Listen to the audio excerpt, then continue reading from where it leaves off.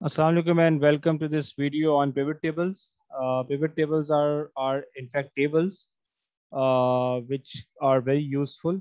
Uh, we might we might think that tables are, are not that much interactive, but pivot tables allow me to see actually more than two, uh, see actually at least two uh, dimensions and analyze the value of a critical KPI across that along with applying filters. So let's make a pivot table uh, let's say I want to go for the brand uh, and also I can add multiple here, but I just want to see the, uh, the, the manufacturing site and the brand and the measure I want to see is the total is the delivery delay in fact. And I can see um,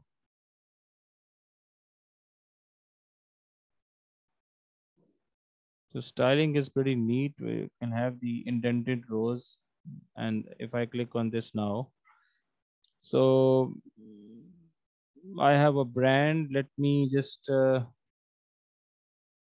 so to select all. And for the manufacturing side, I can also select all.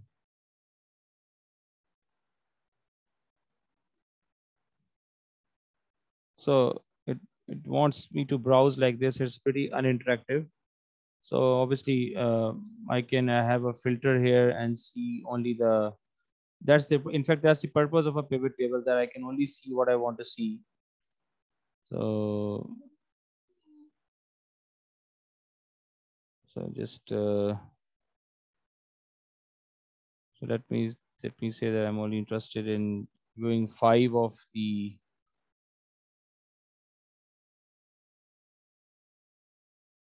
So something like that. So just click on OK. And just, you know, edit sheet and just stretch it up here so that I can see it. Uh, and also brand, let's say I'm not interested in all of these, obviously is too much data.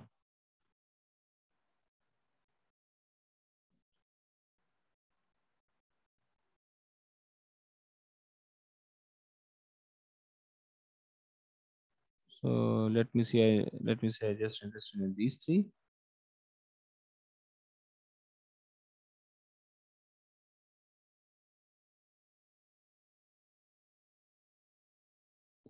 Okay, so I have now this uh, pivot table like this. So I just have these three manufacturing sites.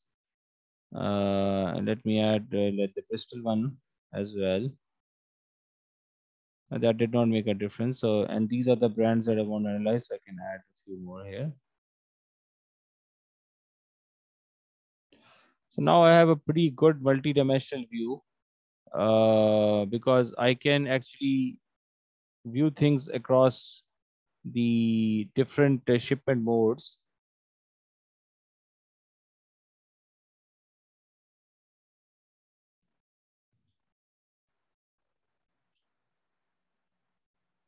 So it's uh, actually, okay. So you can see that the values are changing with respect to whatever I select here. So that's the purpose of a pivot table. Uh, it, it, it, with a, with with two filters there, and uh, with a row and a dimension added in the pivot table, uh, it's going to be very useful for us to to discover why things are happening the way they are happening, along with obviously the charts that I charts I'm using. So in this sheet, I have let's say four types of filters that are there so that's the purpose of a pivot table. So I changed things a bit. So I just uh, changed the filters a bit. So I included all the brands and a few manufacturing sites along with all the shipment modes. And uh, I can also, you know, do this. So you see, uh, I can now analyze things very clearly here uh, with respect to the delay being caused by different manufacturing sites. So if I'm interested in one particular site like Roche, so I know that Roche is causing a delay to me in the brand Invirase uh, across all these uh, shipment modes. The total day is that. So it, the delay remains the same. So it's probably occurring just for the air.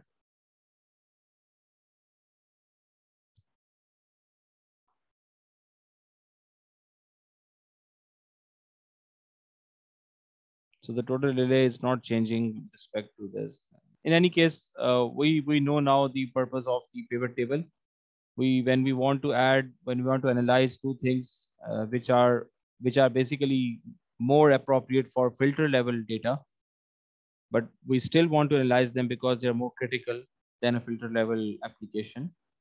So we can put them in a pivot table uh, in a side and just uh, monitor to monitor the situation. So the table can be somewhere here and you know, I can just uh, put some other chart here.